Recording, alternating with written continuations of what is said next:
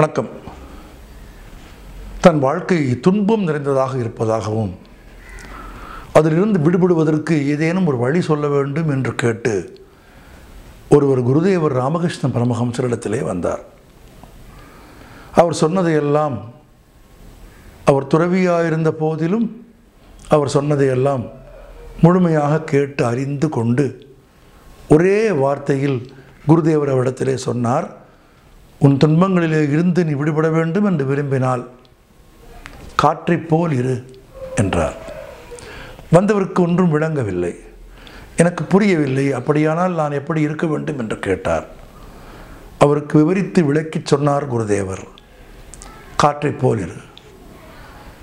மலர்கள் நிறைந்த ஒரு அழகிய நந்தவனத்தை கடந்து போகிற போது காற்று நறுமணம் கொள்கிறது.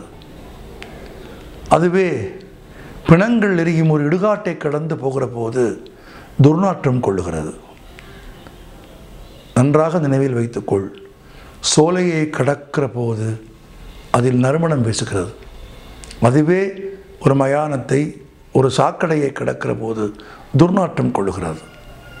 ஆனால் நறுமணமோ துர்நாற்றமோ காற்றில் ஒட்டாது. ஏனெனில் பற்றற்றது காற்று.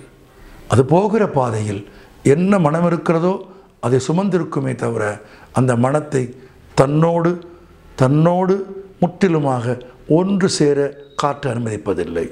காற்றைப் போலிரு பற்றற்றது காற்று என்று சொன்னார் குருதேவர். யோசித்து பார்த்தால் அப்படி இருந்துவிட முடியுமா என்ற ஒரு கேள்வி உங்களுக்கும் எனக்கும் தோன்றுகிறது. ஆனால் எனக்கு ஒரு விடை தோன்றுகிறது. அப்படி பற்றற்று இருந்து விட்டால் இருக்க முடியுமோ இல்லையோ? இருந்துவிட்டால் காற்றைப் போல் இருக்கலாம் என்பது மட்டும் தெரிகிறது. நன்றி.